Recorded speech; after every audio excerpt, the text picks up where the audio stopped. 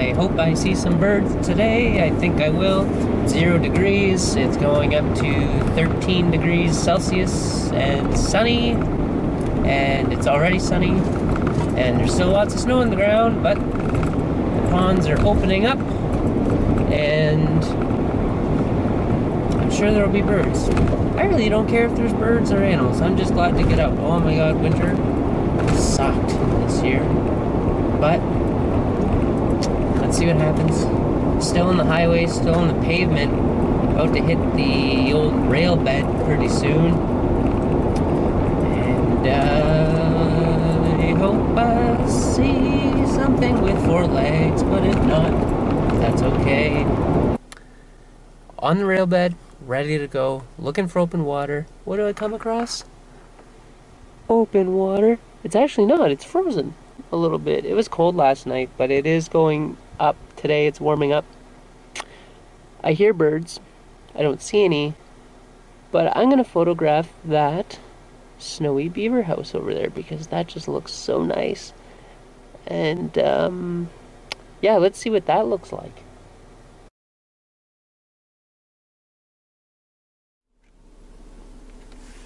I just love it when things work out. I'm taking a picture of the uh, beaver house and then geese fly by right before I'm about to hit the shutter. I don't even know they're there and then they just fly by in the frame and I'm like, yeah. It kind of reminds me of uh, last year's video. I was on the same rail bed. I'll put a link in in the video somewhere. And uh, I was taking pictures of blue herons Oh no, I was taking a picture of sandhill crane and a blue heron flew by in the background. I was like, what the hell? Just beautiful. Dark, dark water. I'm gonna shoot that little, um, it's not little, that birch tree against the dark blue of the ice. Because there's snow on it and it's very pretty. Let's see what that looks like.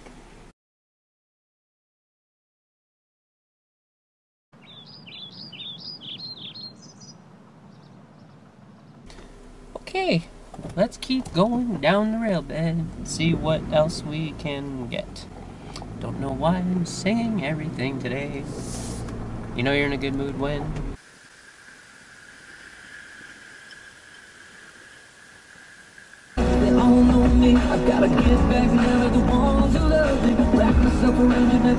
Well, I'm at the next pond.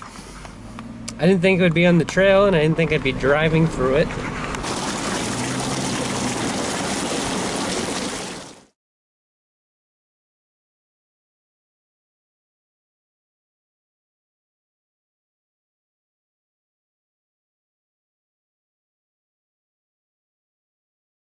Pretty challenging. I got these uh, black, uh, what are those, common grackles? Or rusty blackbird? I don't know. I'm going to look those up. But anyways, super dark, dark bird.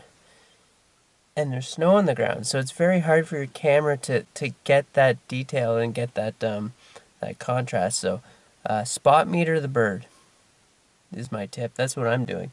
Um, I have my Nikon set up so that um, the uh, the function button that's inside of the grip, which I would be pressing with my middle finger, I have that set up to be just a quick spot meter. You can do that in your menu and just you focus. I got that one focus spot right on the bird, which is also my spot meter, and I just spot meter that dark bird, hit the trigger, camera automatically adjusts to that, you know, that dark plumage that they got and um, it's working out. The snow's a little bit hot, like it's a little bit bright, but I am trying to shoot the bird, not the snow after all. So it's not too bad though.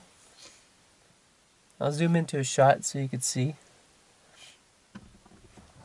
But yeah, you're not always going to get like, you know, the chickadees in the trees and stuff. Not too bad. These dark birds against the white snow.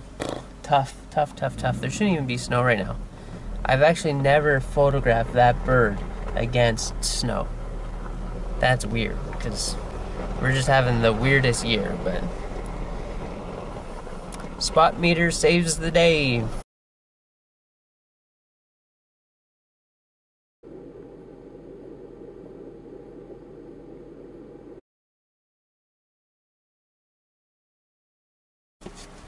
well, guys, that's it for me. Pretty much at the end of my trail here. Gonna hit the road. Completely frozen over, so.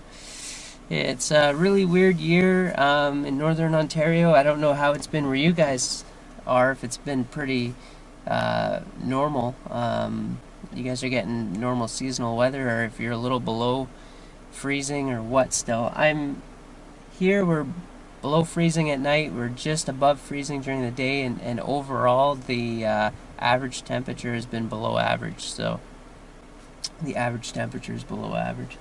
But uh, it is what it is.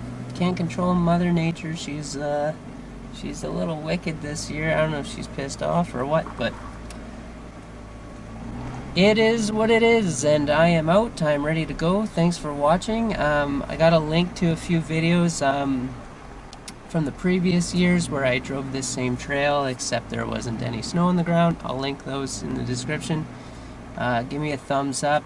Sorry I've been away so long. I've just I've been hibernating, and uh, when I'm back, ready to go, I'm not gonna let fishing get in the way of my photography videos anymore. I'm gonna separate them. Them. I'm gonna I'm going to uh, prioritize myself. That's what I wanted to say. Thanks for watching. My mumbly, unscripted rambling, and um, I hope you guys come back. I really do. And take care.